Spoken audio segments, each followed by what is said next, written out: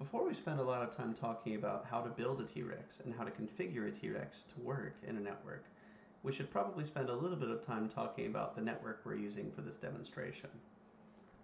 You can see here we have one data center and two branches. The data center is connected to two different transports. It has two vEdges, uh, DC WAN 1 and DC WAN 2. They're running a TLOC extension between them. And then at the branch, we have a CSR 1000V running IOS XE SD-WAN code, and each branch is dual connected to the internet and just connected to a switch behind it. Won't spend a lot of time talking about this particular design or use case. Uh, mostly just want to understand how the traffic flow through the network will look from the branch to the data center. You can see here where, where we've uh, carved out some IP addressing for our T-Rex and for our emulated clients and servers. And so next, we really should explain at a high level how the T-Rex actually works. Now, in this demonstration and for the purposes of, of this lab, the T-Rex is actually just a virtual machine uh, running a particular distribution of Linux, and then on that distribution of Linux, we're going to run the T-Rex software. So if you can imagine, there's a, a virtual machine here which is the T-Rex itself. And the T-Rex is going to have multiple interface connections. So this works in a port pair model. So you could say that the T-Rex has one interface connected to the core and one interface connected to the client switch. And the idea is that the T-Rex will generate traffic from the client. It'll flow through the network towards the server. So you can see here where we've uh, allocated some IP addressing for that. So let me explain that a little bit better. Right here, we have 10.1.10.0 slash 24. That is a VLAN and subnet within the DC core for servers. Um, you could connect real servers to this. So this say uh, Windows servers, DHCP servers, any kind of real servers. But on that subnet, we've also allocated an IP address for the T-Rex, and the T-Rex interface connects to that VLAN.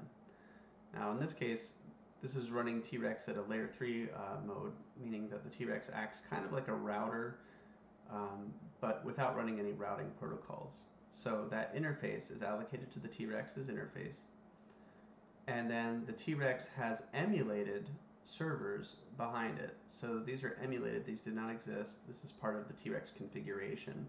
We have to allocate a subnet that's not being used elsewhere for those emulated devices. So we've used 10.1.11.0 slash 24. That's the subnet which all of the T-Rex servers, uh, the emulated servers, will be using as their IP address. And on the other side, for the clients, we've done basically the same thing. We've taken the client VLAN 10.10.10.0, and this is the normal client VLAN, uh, normal client VLAN where we have you can have Windows uh, workstations behind it or something like that. We've allocated an IP address and an interface on the switch for the T-Rex, and then behind the T-Rex we have emulated clients which are going to use 10.10.11.0. So that whole class C will be for the T-Rex emulated clients. Once we've configured the T-Rex to work, it'll send client traffic from 10.10.11.x number of emulated clients and their destination IP will be the T-Rex servers living in the core at 10.1.11.x. So the traffic generation needs to go through the network get routed through the network, and end up on the other end. And that's a very high level overview of how the T-Rex will work. The other thing to keep in mind is, as I mentioned, the T-Rex running in layer 3 mode works kind of like a router, but without routing protocols. So what that means is that our, our emulated subnets 10.1.11 and 10.10.11 don't exist on the switches. So the DC core doesn't actually have a VLAN interface 10.1.11.1. And the same is true of the branch switch. it doesn't have an interface for 10.10.11. What does that mean?